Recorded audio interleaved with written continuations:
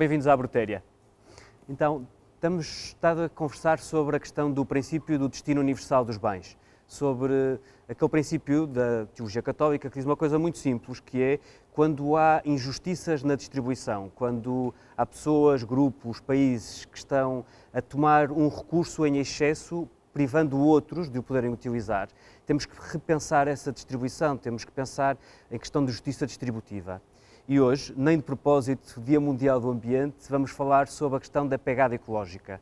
Vamos falar sobre a questão das injustiças que nós vamos cometendo uns em relação aos outros e todos como humanidade, gastando demasiado os recursos naturais que são aqueles que estão à nossa disposição no nosso planeta. Vamos conversar sobre esta questão, vamos conversar com o professor Francisco Ferreira, que acho que é provavelmente das figuras públicas da sociedade civil mais importantes na área da sensibilização ecológica, que tem, tem estado durante anos e anos e anos, não só no seu trabalho como professor universitário, na, na Nova, na área de Engenharia e Ciências do Ambiente, como no Conselho, Português da, no Conselho Nacional da Água, no Conselho Nacional de Desenvolvimento Sustentável, na Quercus, hoje em dia na Zero, que dirige, quer dizer, acho que todos nós o conhecemos e com certeza que nos vai ajudar a refletirmos e a pensarmos em soluções para os problemas de justiça distributiva em relação ao nosso impacto ecológico. E tenho também a Teresa Nazaré, que também é cientista, também já esteve ligada à Nova. A área da Teresa é diferente. A Teresa trabalha em questões de promoção de saúde pública, ela corrigir-me-á. Um, esteve a trabalhar em áreas como a dengue ou o Zika, mas é sobretudo convidar-me hoje especialmente porque, enquanto mãe de família, enquanto cidadã, tem dado vários testemunhos muito engraçados sobre como é que nós podemos, de alguma forma, uma escala familiar, ter um impacto ecológico e pensar a justiça da nossa ação diária de forma muito mais interessante. Vamos conversar então sobre diferentes escalas, vamos conversar sobre o país, a família, os municípios, o que é que nós podemos ter em termos de ação local. Mas vamos, sobretudo, conversar sobre a questão de como é que nós podemos ter vidas a estes diferentes níveis mais justas, em que, de alguma forma, os, desculpem a expressão, os ricos não se abarbatam de tudo o que é bom e deixando os pobres mais desprovidos.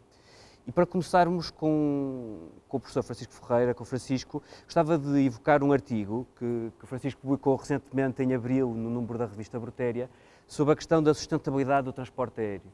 Transporte aéreo que é evidentemente um dos grandes consumidores de energia e um dos grandes poluidores da nossa sociedade. Francisco, é justo, uh, faz sentido investir no novo aeroporto uh, no Montijo e continuarmos com este modelo de desenvolvimento? Bem, eu acho uh, que realmente uh, esta oportunidade de, de, de, conversarmos um pouco sobre uh, o, o, nosso mundo atual, começando pela aviação, é sem dúvida extremamente interessante, porque a aviação está quase parada. E, e quase parada porque a aviação é, é, o, é o, símbolo, digamos assim, da, de, de, de um mundo onde nós atravessamos de uma ponta à outra num instante, eh, mas com uma enorme pegada carbónica para o ambiente, eh, com um uso extremamente intensivo de combustíveis fósseis, pela distância que, que percorremos, eh, principalmente.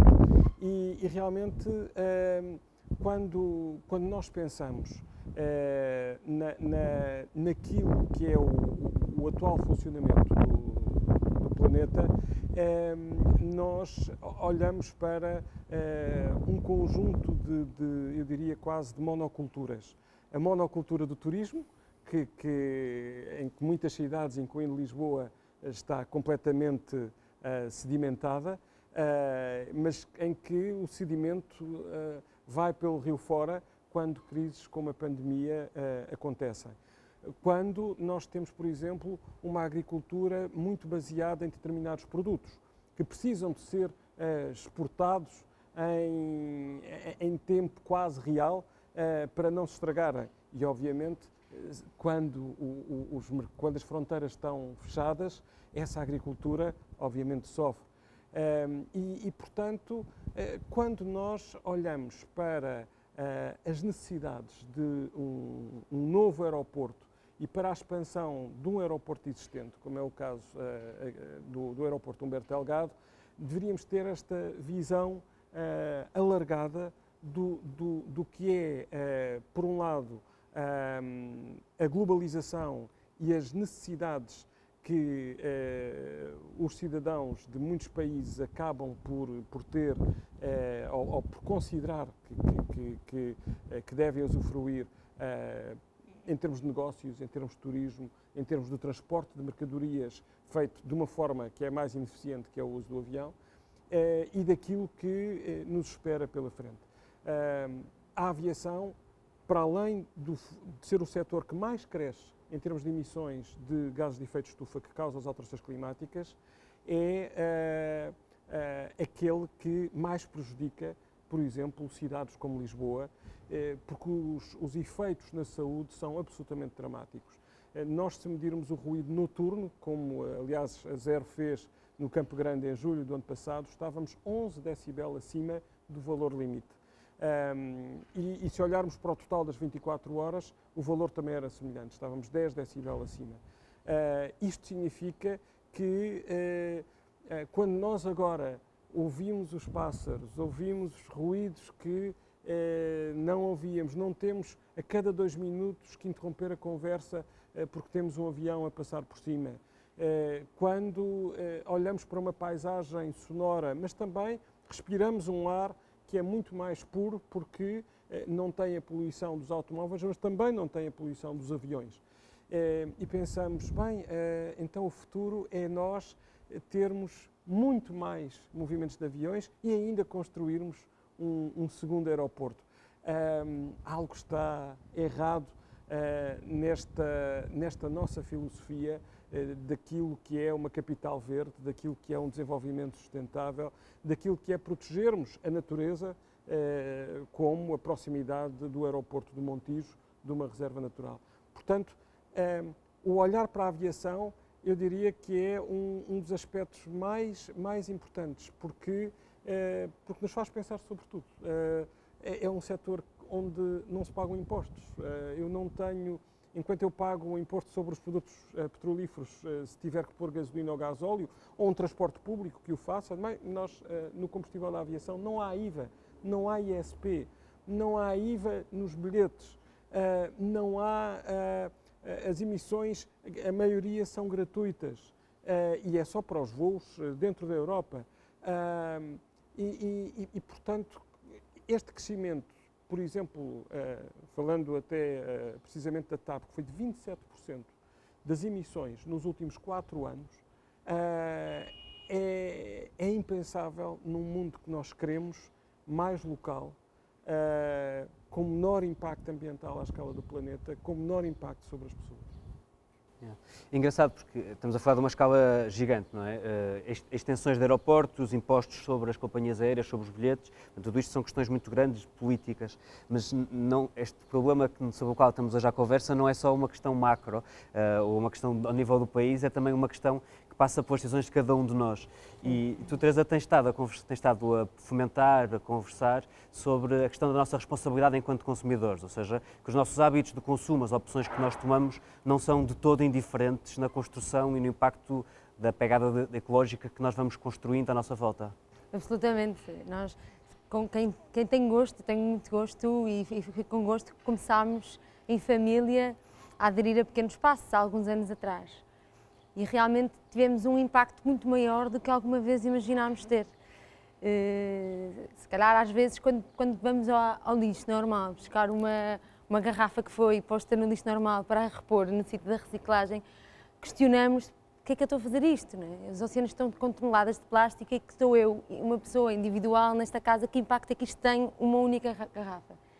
Mas de facto tem imenso impacto e o que vemos agora olhando para trás, que já estamos neste caminho há alguns anos, que, que tem imenso impacto e, e que vemos isso acontecer nas marcas. Como consumidores, nós de facto fazemos muitas escolhas todos os dias.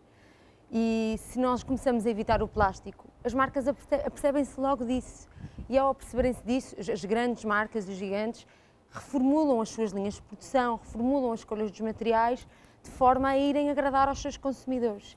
E assim, a pouco e pouco, nós temos vindo o mercado completamente a alterar-se e a tentar adaptar-se àquilo que são as novas tendências das, das procuras daqueles grupos de consumidores que já procuram outras coisas. E vemos, por exemplo, a Coca-Cola já a investir noutros materiais ou a investir na promoção da reciclagem na tampa, mesmo que sejam pequenas mudanças, num gigante como a Coca-Cola, com a quantidade de produção, são grandes mudanças, para além de que isso marca um bocado a concorrência a ir atrás. E vemos isso também em, pequenas mudanças mais nacionais, por exemplo, durante os últimos dois anos, Corte Inglês eh, a nível online, isto só para dar alguns exemplos também nacionais, que reformulou toda a sua linha de distribuição online para só materiais eh, recicláveis. Isto é um investimento brutal que só faz sentido quando se apercebe que os consumidores estão à procura disto. E, portanto, nós, nós temos mesmo esta sensação e, de facto, cada consumidor está a fazer um, uma aposta, uma aposta na bolsa ou um crowdfunding, quem, quem conhece, todos os dias a cada, a cada pequena compra que faz e decide onde é que faz, em quem é que investe, em que material, em que linha de produção é que, é que, é que aquilo que vou comprar, como é que foi produzida, quais foram as condições, como é que eram as pessoas, como é que ganharam o dinheiro as pessoas que trabalharam nisso e apostamos nisso, é? estamos a dar a nossa, a nossa, estamos a promover essa linha, esse material, essa marca, essa maneira de, de produzir com não só com cuidado ambiental, mas com cuidado social e humano. Obrigado.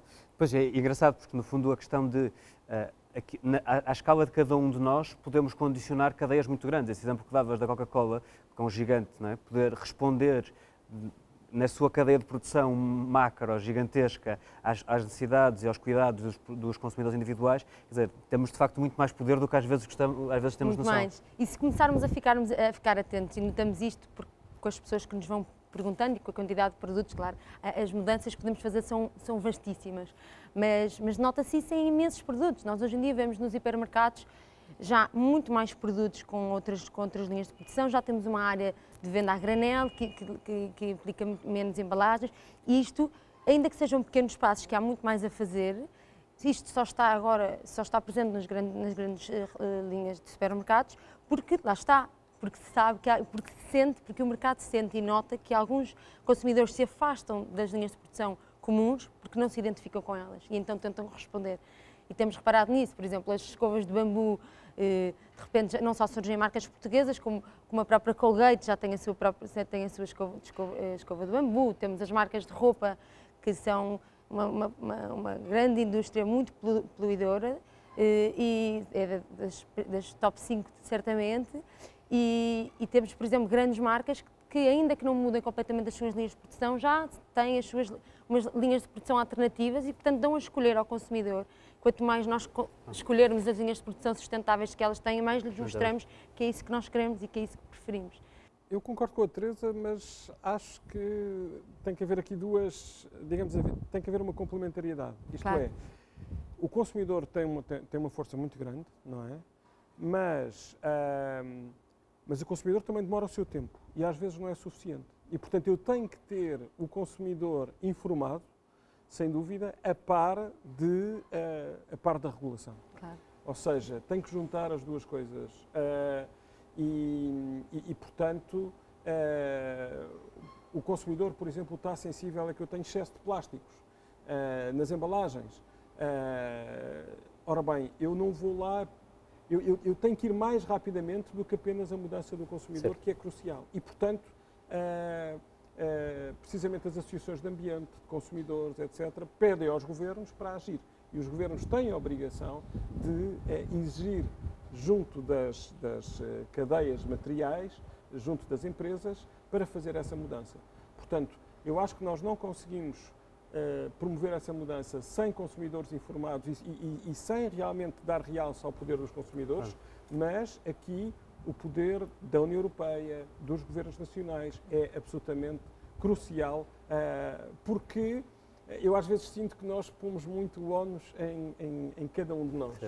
E, e, eu acho que nós temos que pôr o, o ónus precisamente nesses diferentes níveis. Claro. No, no, no, nível do consumidor, do nível do consumidor até ao nível do governo, até ao nível claro. da, da, de uma União Europeia, por claro. exemplo. Um caso giro, por exemplo, eh, no, em França, o Conselho Económico e Social, em Portugal nós temos o Conselho Económico e Social, em França é o Conselho Económico, Social e Ambiental. Ou seja, há o próprio enquadramento uh, político, é? o, o, esquema, o esquema do regime em França, de alguma forma, quis chamar uh, um conselho que, era, que é consultivo, mas que é importante na vida, na vida política francesa, dizer assim, ok, está bem, no século XIX no século XX, se calhar as questões sociais e económicas eram centrais. Hoje em dia há uma outra que é absolutamente fundamental, à qual nós não queremos escapar e não podemos não ter representada, que é a questão ambiental.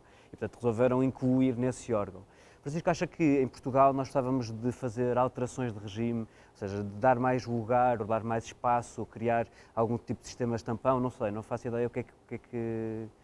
Ou seja, no fundo nós, a questão é se nós precisamos já, mais controle para político. Vale pena, para já vale a pena lançar aqui um número que eu acho que é importante, é que uh, uh, ainda há, há, poucos dias, se não tivesse havido pandemia, os cálculos para Portugal, isto é sempre uma, uma certa metáfora, é uma, é uma aproximação científica quanto basta, uh, nós já, uh, já estaríamos a viver, a partir daí, uh, foi no final de, de, de, de, abril, salvo erro, ou no princípio de maio, que nós já estaríamos a, a, viver com o cartão de crédito ambiental, ambiental, não é?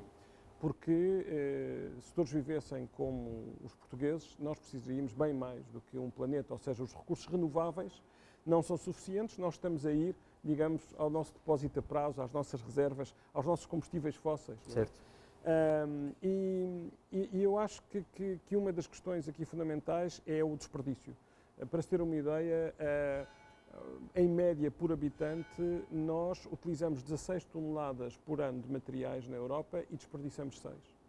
Eh, e, e realmente e, e temos uma filosofia onde os três R's da redução, da reutilização e da reciclagem uh, raramente são respeitados nesta, nesta ordem, não é? E a reciclagem é às vezes aquilo que nós damos mais prioridade em vez do primeiro R, que é a redução, que é a prevenção. Mas indo à, à, questão da, da, da, da participação, da, da, componente ambiente, no, no, Conselho Económico e Social em Portugal nós também temos representantes das associações de ambiente. Portanto, agora, realmente o ambiente deveria estar no nome. O, o, o, conceito de desenvolvimento sustentável é precisamente a união, digamos assim, entre a economia, o social, o ambiental e também a governança.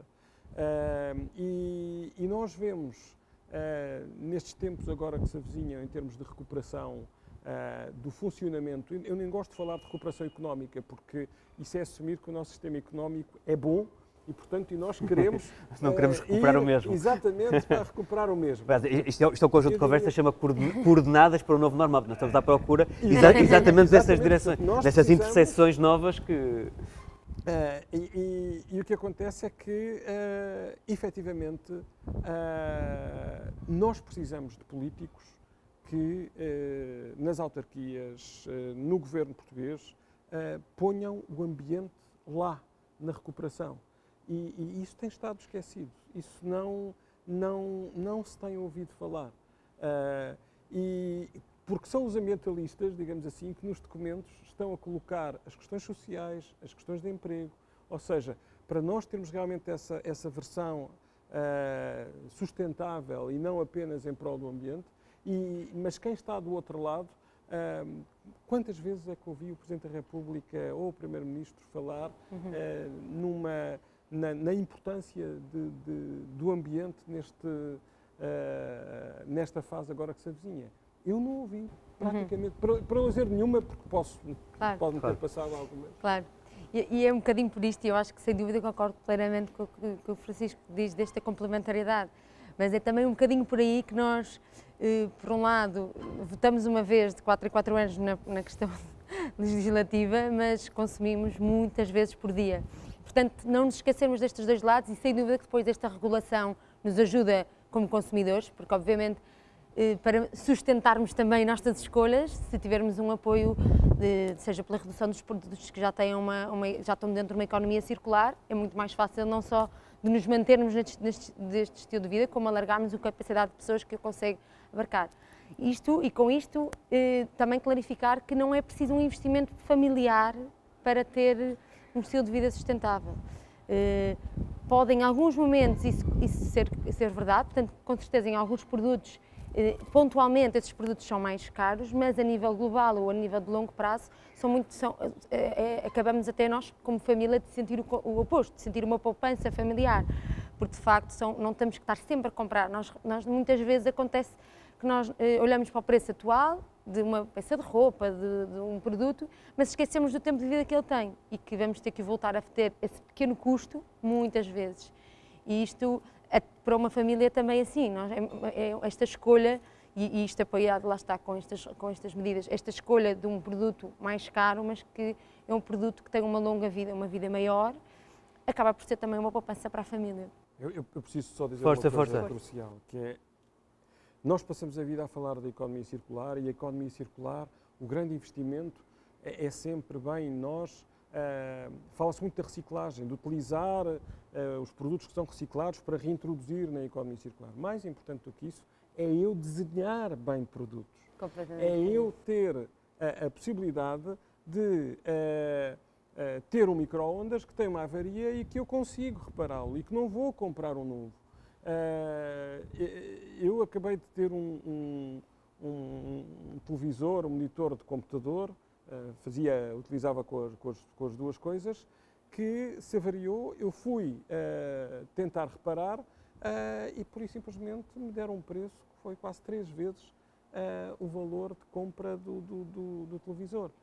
felizmente também já consegui reparar o micro-ondas por 6 euros. Uh, mas, uh, mas, portanto, é preciso esta, esta mudança e, e, e, a Teresa tem razão numa coisa, que é, acima de tudo, eu, eu, tenho que mudar o paradigma das famílias, o paradigma de consumo. Isso é o mais importante de tudo. É, é, é eu uh, estar informado e saber decidir. Estamos, estamos assim a chegar ao fim, não é? Se, se, pudéssemos tipo, ter assim, uma espécie de lâmpada mágica e passar a mão e tirar um desejo, agora para, para, para, terminar esta conversa, se pudessem, neste novo normal, decidir alguma coisa que por milagre acabaria por acontecer, o que é que escolheriam cada um? Ah, isso gente, nós precisamos de meia hora agora. Não, não, só tem que ser, tem que ser pouco, ah, pouco pequeno e possível. dizer um pequeno, um, um pequeno desejo, eu acho que é, um, que é um grande desejo de todos e é um desejo que já tem estado presente, que é fizemos uma grande paragem pensámos, tivemos que, que, obrigatoriamente repensar a nossa maneira de viver, então não vamos voltar ao, ao, ao mesmo normal e é uma enorme oportunidade, porque o, o, custo de mudarmos é mesmo o que temos que parar, isso já o fizemos, e agora vamos recomeçar, vamos começar bem e não nos esquecermos das questões ambientais e das questões sociais que estão tão ligadas às claro. questões ambientais. Nós, nós tivemos e estamos ainda, de certa forma, numa emergência de saúde pública. Claro. E o problema é que nós temos outras emergências, também de saúde pública, ambientais, sociais económicas, nomeadamente a emergência climática. E essa está a passar em câmara lenta, não é?